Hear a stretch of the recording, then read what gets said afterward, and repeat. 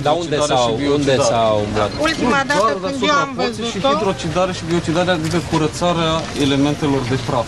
Deci voi acum în septembrie voi ați lucrat doar sus? Da, doar sus. Scandalul iscat la Târgu Jiu cu privire la restaurarea porții Sărutului i-a atras atenția premierului Victor Ponta. Invitat să participe la manifestările dedicate împlinirii a 75 de ani de la existența ansamblului Calea Eroilor, premierul Victor Ponta a ținut să viziteze opera de artă pentru a observa modul în care s-a făcut restaurarea. Premierul a ajuns la concluzia că este necesară înființarea unei comisii formată din specialiști neutri care să efectueze atent o expertiză a lucrărilor efectuate. O să plătim noi de la guvern o comisie independentă, nu din România, ca să nu ziceți Corect. că ține cu uh, ministerul sau ține cu ceilalți.